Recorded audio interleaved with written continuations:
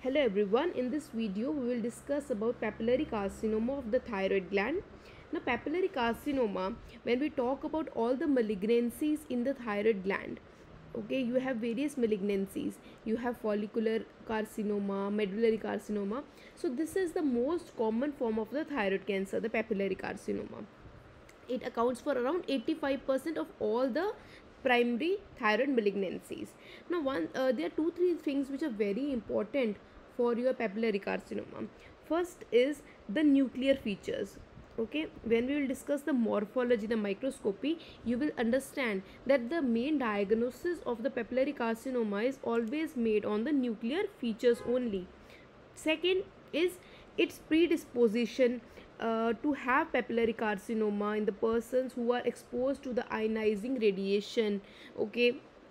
Uh, uh, for the instance the chernobyl incident okay? So uh, here they were more exposed to the ionizing radiation before the age of 20 and therefore their increased risk to develop papillary carcinoma. And third important thing is that its prognosis is very excellent okay? So uh, unlike any malignancy its prognosis is very excellent. Now going to firstly how the patient presents then we'll go to the morphology and how the diagnosis is made.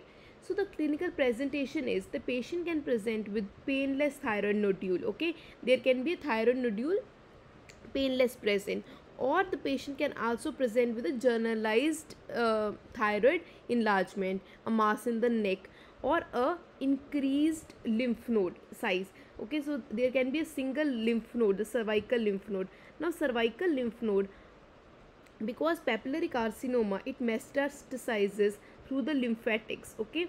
Through the lymphatics it goes to the uh, cervical lymph node. So if you see a cervical lymph node which is enlarged especially in a female okay?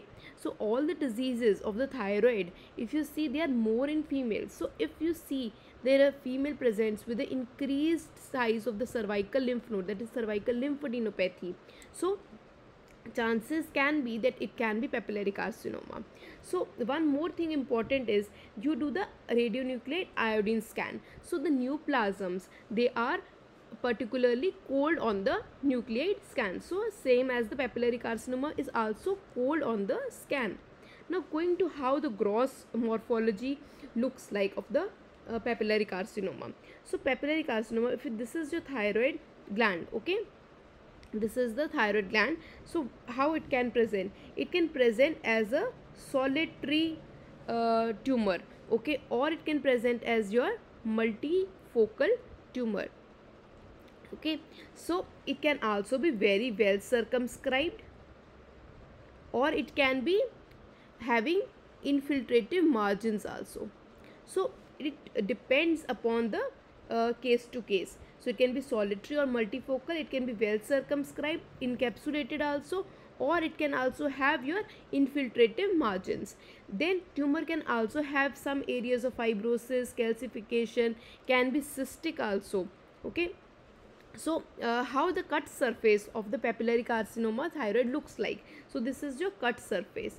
Okay? We have opened the thyroid gland. So you can see over here the surface is not regular okay? The surface has something known as papillary excrescences.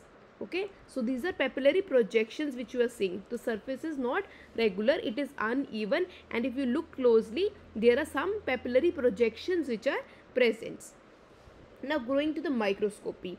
Now in microscopy we will go to various points. Okay? The first point is your papillae.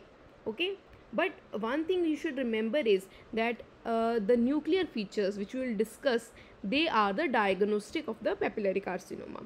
So firstly the papillae. So papillae how should it be? It should be branching okay? And secondly they should have a very good fibrovascular core present okay? The simple uh, there are many in thyroid gland okay?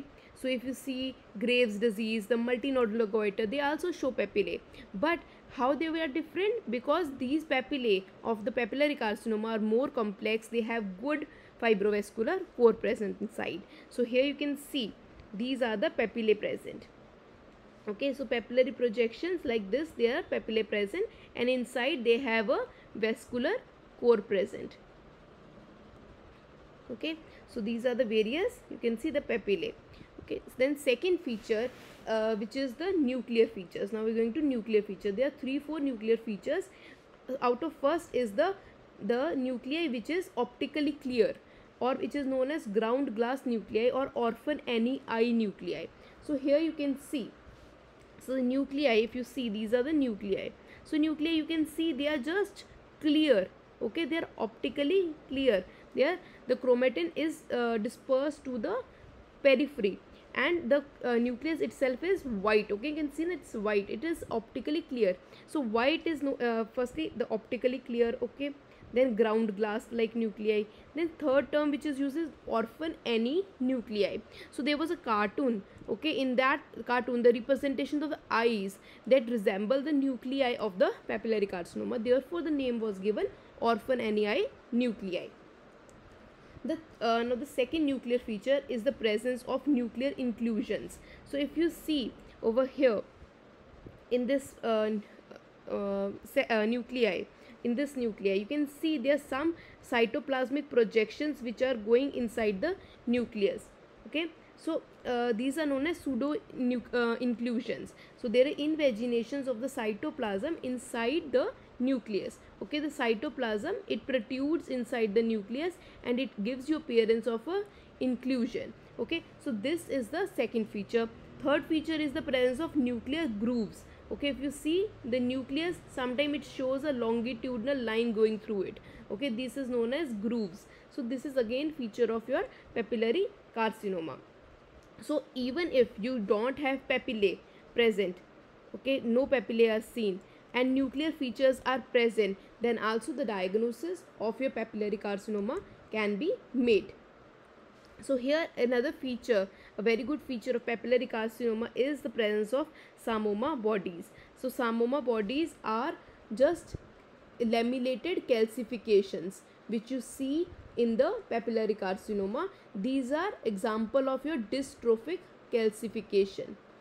Okay uh, now psammoma bodies can also be seen in other tumors but they are also seen in papillary carcinoma. So they are not very specific for it okay? So psammoma bodies. One thing more important about psammoma bodies is if you in the thyroid gland if you see th psammoma bodies so in the thyroid gland it is only seen in papillary carcinoma not other tumors. Then lastly lymphatic involvement can also be seen in your papillary carcinoma thyroid. So uh, lymphatic involvement can go to cervical lymph node and lead to cervical lymphadenopathy. Now going to the variants, we will not discuss the variants in detail but we will just go through it. First is the follicular variant. Here as the name suggests there are follicles present. There are no papillae present. Okay. There are no papillae present but there are follicles present and the nuclear features nuclear features will always be present okay? Especially in la- like your tall cell variant here the cells the size will be uh, slightly taller. Then diffuse sclerosing variant is there. Then you have papillary microcarcinoma. As the name suggests the size of the focus of the tumor is very small okay? So there are around 13 variants of your papillary carcinoma. We are just uh, uh, going uh, through few of them only now going to the pathogenesis. Now how does papillary carcinoma occur? So there is something known as MAP kinase pathway. Okay. So in MAP kinase pathway, you have your uh, RET gene. Okay. So in this, uh, firstly in this, what will happen is there will be chromosomal abnormalities. Okay. They are not point mutations which are taking place. Chromosomal abnormalities are there that is you have your translocation inversion going on. So ret if there is a point mutation it goes towards the your medullary carcinoma. However if you have translocation inversion of the uh, chromosomes it goes towards the papillary carcinoma. And second gene which is mutated very frequently in your papillary carcinoma is very characteristic is your BRAF gene. Okay? BRAF gene is also mutated in the papillary carcinoma. So uh, first is your RET gene. Now RET gene occurs uh, is located on the chromosome 10. There is inversion on translocation. This will lead to what? This, this will lead to this rearrangement will lead to uh, production of a gene which will lead to increased tyrosine kinase activity. Okay. so tyrosine kinase activity will increase okay so this is the first uh, gene mutation. Now second gene mutation which is very characteristic of is the gain in the function of mutation BRAF gene.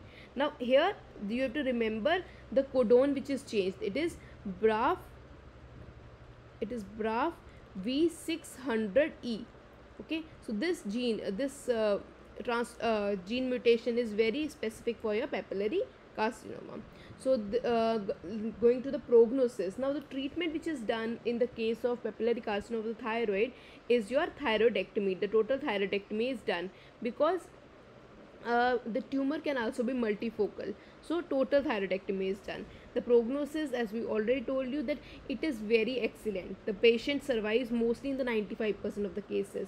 The prognosis here is very good so this was all about the papillary carcinoma of the thyroid. We'll discuss the other tumors in the next video. Do like share and subscribe to this channel if you like these videos. Also ask your query in the comment box. Thanks for watching this video